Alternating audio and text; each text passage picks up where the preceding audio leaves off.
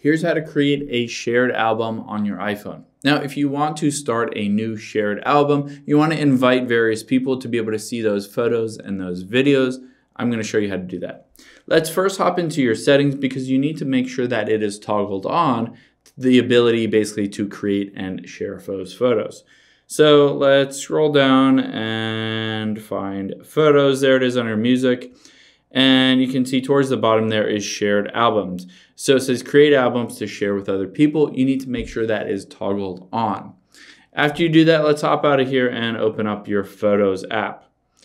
Now at the bottom right is albums. If you're not there already, just tap on albums. And then at the top left is a little plus that allows you to create that new shared album. So I'll tap plus and hit new shared album. And now it will pop up with the ability to share this album. But first we need to name it. I'm just gonna say something like party and hit next.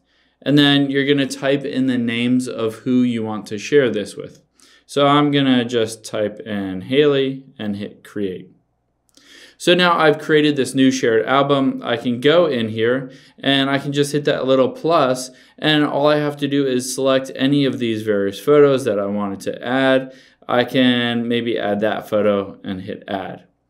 So now I have added that photo to this shared album. Keep in mind the other person will have to accept that invite first before they can see that photo in the shared album. You can always tap that little person at the top right.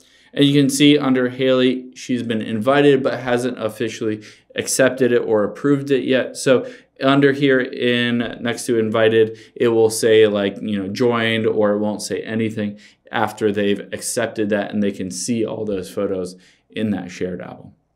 Hope this helps. If you have any questions on that, leave them in the comments down below and we'll catch you on the next one.